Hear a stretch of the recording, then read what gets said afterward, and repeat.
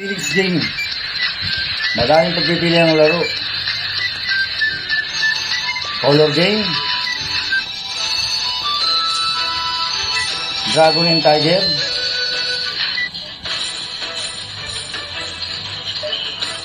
Red and Black o 3 card Kusoy.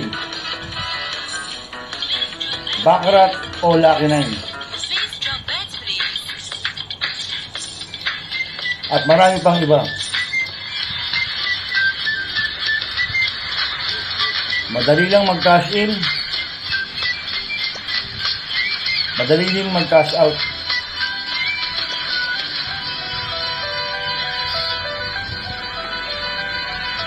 Magandang araw po mga bayang karista. Ngayon po ay araw ng Sabado, June 25, 2022. Karera po ng MetroTurf, Malbar, Batangas. May pitong karera po tayo sa araw na ito. Nandito naman po yung lingkod, Drunken Master Wangbu, a.k.a. Elo Tubudoy para magbigay ng giya at analysis sa inyo mga bayang karista. Mga bayang karista, start po ng karera natin 5pm. At meron po tayong mga carry over dito sa pick 6 amount 284,471 pesos. At meron din po tayong carry over sa Pentavecta at Super 6 at bago po ako magsimula magbigay ng giya at analysis huwag pong kalimutan subscribe, like and share yung YouTube channel ko po. At syempre huwag din pong kalimutan i-click yung notification bell ko para updated po kayo sa mga bagong videos ko. Kaya mag-start na po ako sa pagbibigay ng giya at analysis. Race 1, winner take all, covers races 1 to 7 may anim na kabayang tatakbo, condition race, category 24, distance 1,400 meters. First choice ko po dito, number 6, Tontonito. Nasasakyan po ni MP Laloma, lasan, third place po siya, kila Smart Bell. Ma, ah, Magnum Force, medyo mainam po tinakbo ni Tontonito last run. May, mabigat po mga tinalo sa dati nga, sila Cinderella King. Kaya malaki panalo sa akin ito, kaya siya po first choice ko. Second choice ko po yung bumaba ng grupo, numero 3, Kid Kenshin. Nasasakyan po ni Alam Pare. Kaya ang first choice ko po, numero 6, Tontonito. Second choice, numero 3, Kid Kenshin. Sa race 2 po tayo, pick 6 covers races 2 to 7. Dito po ikakarga yung carry over ng pick 6 at Pentapeta. May pitong kabayang tatakbo, rating basis M plus 4, 22-27 split sa distance 1,400 meters. First choice ko po dito yung galing sa panalo numero 7, Dugong Bugaw. Nasasakyan po ni RM Garcia. Medyo maganda panalo nito last run. Tinalo sila FNR style. Kaya malaki panalo sa akin ito. Kaya siya po first choice ko. Second choice ko po numero 2, Sarangani Island. Nasasakyan po ni si MP Lapil. At lalagyan ko po third choice sa Pandiado, numero 4, Crazy Colin. Itong si Crazy Colin, uh, nasasakyan ni JD Sarate nag-vicious barrier po siya, nag-prevo siyang 1-6 sa distance 1,200 meters. At si Crazy Colin, la, uh, last run eh, fourth place po siya, kila Caloocan Girl. Kaya sa akin eh, medyo magandang diado to si Crazy Colin, kaya siya po third choice ko. Kaya ang first choice ko po, number 7, Dugong Bugaw. Second choice, number 2, Sarangani Island. Third choice sa Pandiado, number 4, Crazy Colin. Sa race 3 po tayo, uh, pick 5 covers races 3 to 7. May pitong kabayang tatakbo. But 6 in numbers. Rating basis yung class 5, 6, and 10 split. Distance 1,400 meters. Anybody's race po ito mga bayang karista. Lahat po ito tingin ko may panalo. Pero ang pursuits ko po dito, numero 5, Rapa. Nasasakyan po ni FS Parlocha. Ito, tingin ko, siya po magdadala ng unahan dito, si Rapa. Pag napabayaan sa harap to, pwedeng makatapos ang karera to. Kaya siya po ang first choice ko. Second choice ko po, yung Diremating numero 6, Exceptional G. Na sasakyan po ni YL Bautista. Ito, medyo mababa sa laban. Kaya siya po second choice ko. Kaya ang first choice ko po, numero 5, Rapa. Second choice, numero 6, Exceptional G. Uh, mga bayang kalisa, meron po lang po i-recommend ang games, yung Phoenix Game. Kaya mga bayang kalorista at sa mga viewers ko na naghahanap pa ng libangan, bago o pagtapos ng karera. Pwede kayo mag-register dito sa Phoenix Game. Ito po ay isang application ng online casino. Ah, sa baba po ang description, pwede dito ang papiso-piso na taya. Madali lang mag-register, mag-cash in, mag-cash out.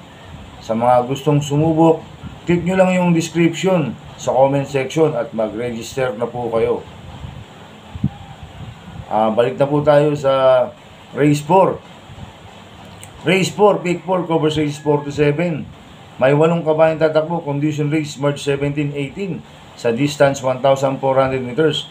First choice ko po dito yung di banderang galing sa panalo, numero 1, Stardust. Nasasakan po ni Ryan Base. Itong si Stardust, eh, mabilis na kabayo ito. Maganda pa numero, nasa balya. Tingin ko, wala namang pauunahin to. Pag nakaalagwa to, pwedeng makatapos ng karera. Kaya malaki panalo sa akin ito. Kaya siya po first choice ko. Ah, second choice ko po yung nag-iisang imported, numero 3, Matikas, na nasa ni Jeremy Storke. Nanalo rin po last run to si Matikas. Medyo maganda rin po panalo. Cambio hindi, binigay kay Jerome Storke, nagpanalo dito si JB Guse. Kaya siya po second choice ko. Kaya ang first choice ko po, numero 1, Stardust. Second choice, numero 3, Matikas.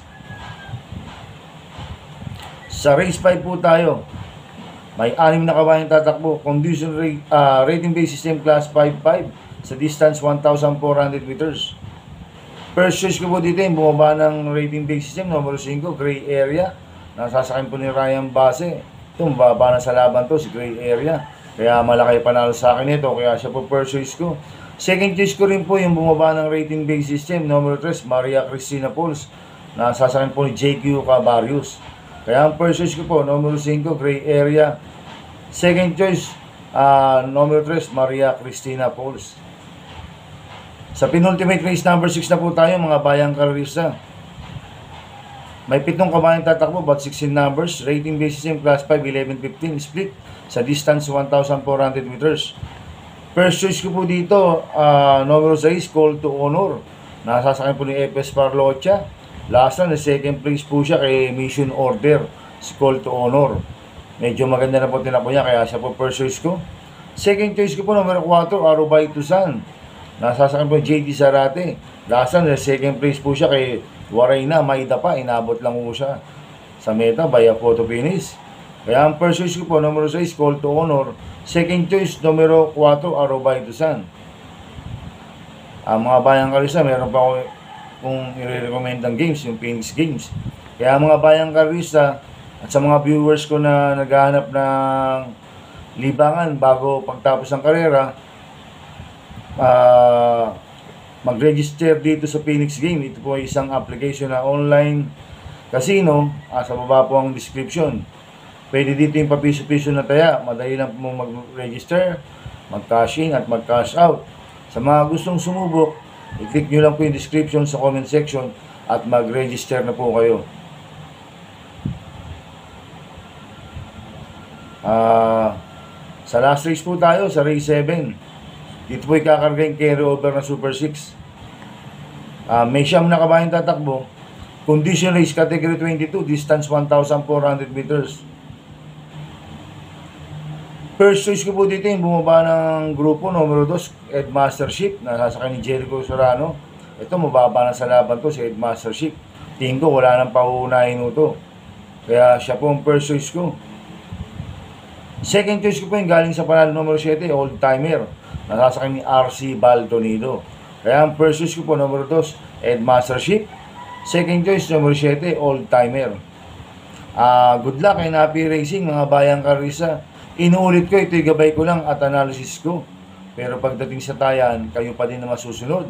Sana ay swertein po kayo at magsitama. Kaya good luck po sa ating lahat. Ah, shoutout muna ako, ah, Api Racing po kay Sir Edgar Paredes ng Tayuman Tundo coming from Rolly Di Maranan. Ah, shoutout ko rin po sila Sir Ronald Mascareñas at Sir Nante Santos of Sango Stable. Salamat po sa Chooks to Go, ang manok ng Bayang Karista. Kahit walang sauce, masarap po. Kaya tangkilikin po natin yung Chooks to Go, mga Bayang Karista. Kaya mga Bayang Karista, please subscribe my YouTube channel. at Tubudoy 2.0. Maraming salamat po and God bless.